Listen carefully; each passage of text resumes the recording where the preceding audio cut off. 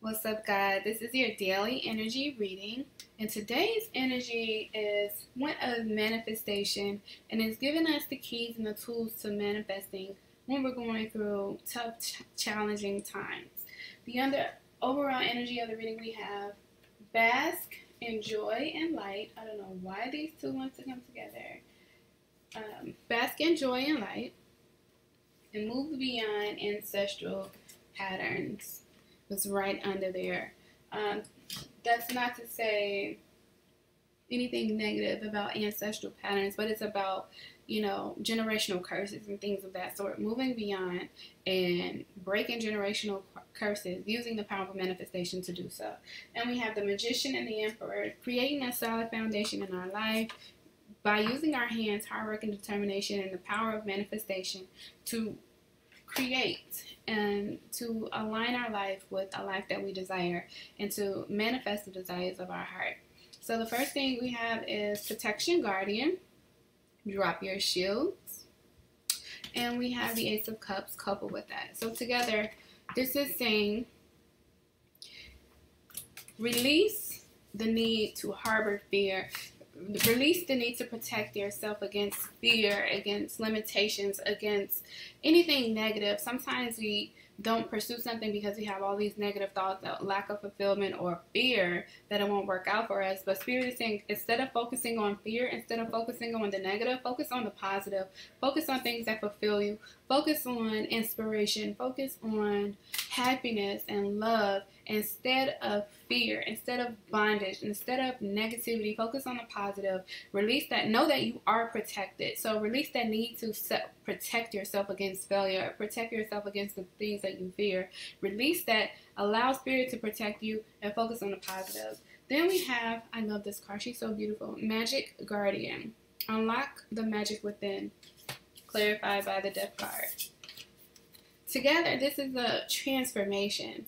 This is transforming and creating new beginnings in your life through your own individual power of manifestation. Spirit is saying the power is not outside of you, the power is inside of you. You have the power to change your life, you have the power to transform your life. It's all within you. Nothing is not outside of you. Everything you need to transform your life, you have it within you. You have the resources, you have the ability to manifest new beginnings in your life. You just need to use them. Release the negative, focus on the positive, and focus on the things that you have within yourself to manifest your life. You could it could be gifts, it can be, you know, whatever it is, you have the power within you to change your situation. Then we have Mirror Garden.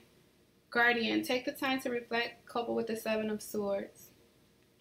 The Mirror Guardian is take a look at yourself in the mirror. The Seven of Swords is saying you could be stabbing your own self in the back. So what are the things that you're doing to stab yourself in the back? Take a look in the mirror. Are you releasing negative spells against yourself? Are you not focusing on in your highest potential? Are you afraid? Are you allowing fear to stagnate you? When you look in the mirror, you figure out what it is that you're doing to stop yourself. What it is you're doing to be the opposition in your own life. The Seven of Swords is the opposition in this reading. So what are you doing to, are you the opposition in your own life? Are you doing things to keep hold your own self back? Spirit is saying, look in the mirror, assess yourself. What can you do better? How can you focus more on the positive? How can you be more in joy and light? How can you focus on manifesting new beginnings in your life and, and being using your power within to manifest transformation? What are you doing to hold yourself back? Then we have snake, coupled with the nine of swords, shadow of skin. In this reading, this is saying release fear, release anxiety. Let all that negative shit go. And you know what? I'm talking to myself right now too because I do it too. You know, I'm not preaching to you. I'm just releasing this reading. This is saying release the anxiety, release negativity, release negative thoughts. Again, focus on the positive, release the negative. Don't be the opposition in your own life. Don't allow the snake, don't allow snake energy or opposition energy or demonic energy to hold you back.